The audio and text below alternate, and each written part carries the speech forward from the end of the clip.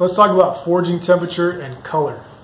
Uh, this is very important. So what you don't want to do is beat on metal that has become too cold. You're going to work against yourself. You're going to put stress on the metal, stress on your anvil, stress on your body, so your shoulders are going to give out sooner. Uh, you want to make sure that metal is nice and hot. So from our talk about gas forges versus coal forges, we know that both of them can get very high temperatures. Uh, the nice thing about gas is that it will maintain a nice high uh, forging temperature for a good long time and you don't have to worry so much about those fluctuations. So what do we look for in terms of color and what does that mean in terms of temperature? What we're looking for in color before we start forging, as soon as we pull that out, and we're going to talk about uh, mild steel as our example, we want a nice bright yellow orange color and I'll, I'll put up a photo of that so you can see what I'm talking about. Uh, so, bright yellow orange, what that translates to is above 1500 degrees. Okay, and that gives you more time outside the forge to hammer on it as it approaches cherry red, cherry red being too cold, and needs to go back in the forge.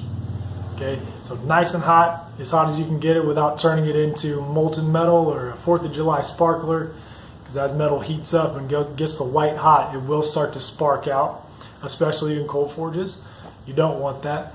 Uh, so get it nice and hot, that bright yellow orange, and that's going to give you the most time to work it.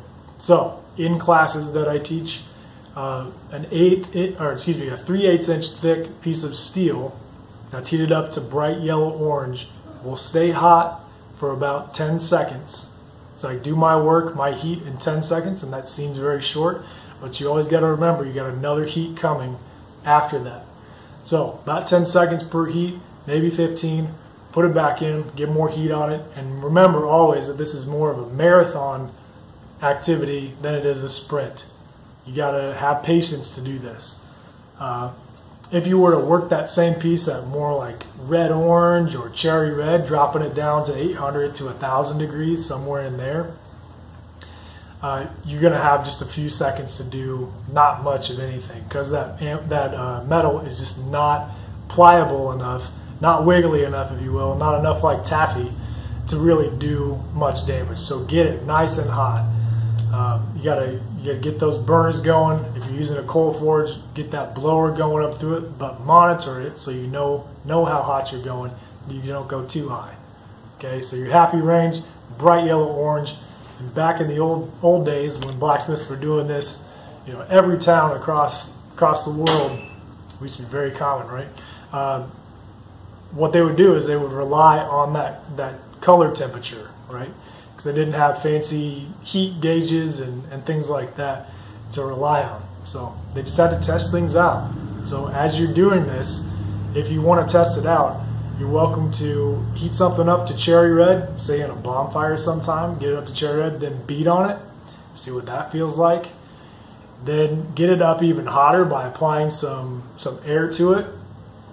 Get it up to that orange color, beat on that. Get it up even hotter than that, beat on that. You'll be able to feel the differences between all of those different temperatures and how easy it is to work. All right, so that's a bit about uh, forging temperature and color. Uh, last thing I'll say about it uh, is carbon steel typically needs to be worked much hotter than mild steel because of the higher carbon content. So in the in the axe classes we teach, we teach a few every year. Um, we invite people to come back in and make uh, tomahawks or hand hatchets or things like that. Uh, the type of steel we use has so much carbon in it because we want it to be really tough to you know take that impact while you're chopping through stuff. We need to get that really hot, so even even hotter than that bright yellow orange. We're talking yellow yellow. Uh, got to get that real hot just because of the carbon content in it. With mild steel, it's not as important.